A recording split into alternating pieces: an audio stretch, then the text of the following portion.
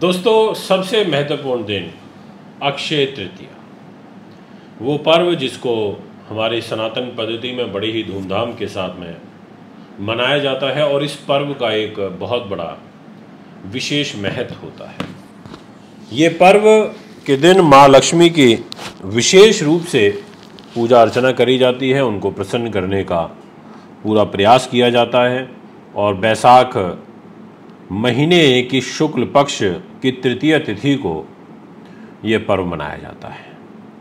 दोस्तों, अक्षय शब्द का शाब्दिक अर्थ ही होता है कि जिसका कभी भी क्षय ना हो या जिसका कभी नाश ना हो, उसी को अक्षय बोला जाता है। इस दिन खरीदारी करने का विशेष शुभ प्रभाव होता है हमारे जीवन के अंदर और बहुत बेहद खास होता है। इसलिए हमारी धार्मिक मान्यताएँ हैं, हमारे पंचांग हैं। उसके अनुसार तो इस बार की अक्षय तृतीया पर बड़े सुंदर सुंदर योग भी बन रहे हैं। जैसे सुकर्मा योग बन रहा है गज केसी राजयोग बन रहा है, मैं ऑलरेडी वीडियो डाल चुका हूँ, रवि योग है। और तो और देखिए, सूर्य तो उच्च के हैं ही। साथ में एक बहुत सुंदर शनि ग्रह के द्वारा शश नाम का महापुरुष राजयोग भी चल रहा है। यानी कि इस बार की जो अक्षय तृतीया है वो बहुत महत्वपूर्ण है।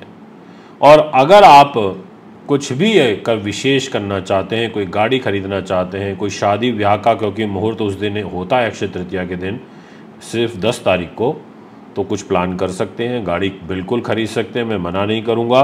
और इस बार शुक्रवार, यानी कि माता का दिन, शुक्रवार का दिन तो वैसे ही माँ लक्ष्मी का होता है, दुर्गा माता का होता है, उसी दिन अक्षय तृतीया का पर्व है।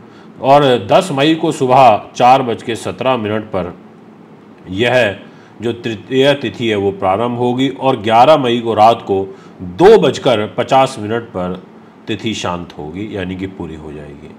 तो अच्छा टाइम है, अगर आप कुछ विशेष करना चाहते हैं, ख़रीदारी करना चाहते हैं तो सुबह आप कर सकते हो छः सात बजे से लेके दोपहर में बारह बजे तक समय ठीक रहेगा। अगर कोई ज्वेलरी, चांदी कुछ ऐसा ख़रीदना है तो ये बहुत अच्छा होता है।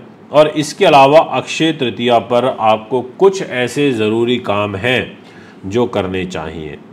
अक्षय तृतीया पर पुण्य की प्राप्ति होती है। इस दिन आपको ईश्वर की पूजा, उपासना, ध्यान, जप, दान ये सब करने चाहिए। अपने व्यवहार को काफ़ी आपको मधुर रखना चाहिए, अभद्र शब्दों से बचना चाहिए, नॉनवेज खाना बिल्कुल भी नहीं खाना चाहिए और यदि आपसे संभव हो सके तो ज़रूरतमंद व्यक्तियों की गरीब लोगों की आपको मदद भी अवश्य करनी चाहिए। उससे आपको बहुत अच्छे लाभ प्राप्त होंगे। ये मैं आपसे कहना चाहता हूँ अगर आपके द्वार पर कोई भी याचक बन के आए कुछ भी मांगने के लिए आए तो ज़रूर उसको आ, अपनी सामर्थ्य अनुसार कुछ ना कुछ दान दे करके ही भेजिएगा। खाली हाथ मत लौटाना। ये मैं आपसे कहूँगा दक्षिणा ज़रूर देना। इसके बड़े अच्छे अच्छे और जो शुभ प्रभाव हैं, वो प्राप्त होते हैं। और अक्षय तृतीया पर सोना खरीदना या कोई कीमती वस्तु खरीदना काफ़ी शुभ भी बताया गया है। तो यानी कि अब इसकी एक पौराणिक कथा है, पर मैं उस कथा के बारे में इसलिए आपसे बात नहीं करूँगा अभी, क्योंकि मेरे को पता है कि आप सभी जानते हैं और हर वर्ष अक्षय तृतीया आती है तो आप इसमें कुछ नया नहीं है। बट हाँ ये ज़रूर है कि इस दिन कुछ चांदी से, सोने से संबंधित चीज़ ज़रूर खरीदना या एक चांदी का सिक्का खरीद लेना और माँ लक्ष्मी को ज़रूर अर्पित करना पूजा में। अच्छा रहेगा। इस दिन पेड़ पौधे लगाना, आम का पेड़ लगाना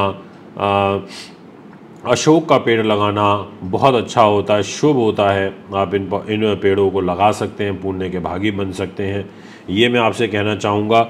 और साथ में मैं आपसे ये भी बात करना चाहूँगा कि अक्षय तृतीया के दिन आपको सबसे ज़्यादा विशेष रूप से पूजा करनी चाहिए माँ लक्ष्मी की, साथ में गणेश भगवान की और कुबेर जी की पूजा करना सबसे अत्यधिक आपके लिए लाभप्रद साबित हो सकता है।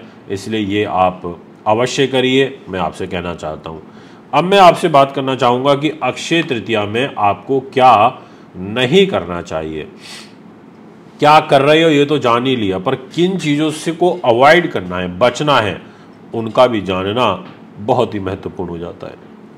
तो मैं आपसे कहना चाहता हूँ कि आपको शंख, कौड़ी, श्रीयंत्र, कुबेर यंत्र, भगवान, गणेश और श्री हरि विष्णु सहित किसी भी शुभ देवी देवता का अनादर करने से बचना है।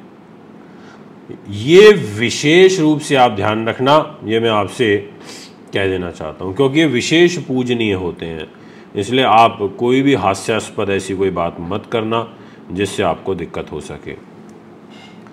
अब बात करते हैं कि अक्षय तृतीया पर हमें क्या नहीं करना चाहिए। तो यदि आप अक्षय तृतीया के शुभ अवसर पर लंबे समय से आपने कोई व्रत धारण किया हुआ, रखा हुआ है तो इस दिन आपको अपना व्रत नहीं तोड़ना, उसको कंटिन्यू करना।